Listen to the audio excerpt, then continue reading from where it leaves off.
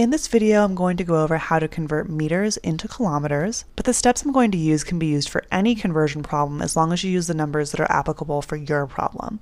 And so step one is to get the conversion ratio. And so for all these conversion problems, we're going to have two units, and you just have to know from either memorizing or looking it up how many units of one equal how many units of the other one. So for this problem, a thousand meters equals one kilometer.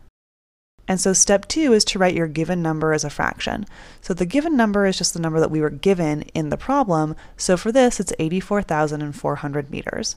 And so remember that we can write any number as a fraction with the denominator of 1, and also that we have to include units. And so unless it's explicitly written as a denominator, the unit is going to go in the numerator just along with the number. So our fraction looks like this. So step three is to write the conversion ratio as a fraction and solve. So we pull down our number. And we know we're going to do some math here, and we use our conversion ratio from step one to figure out what to do. We want to just base this off of canceling out.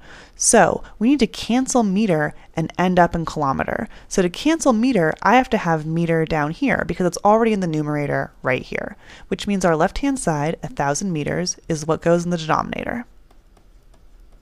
And that means that our right-hand side, one kilometer, is what goes in the numerator. And now we know a bunch of stuff.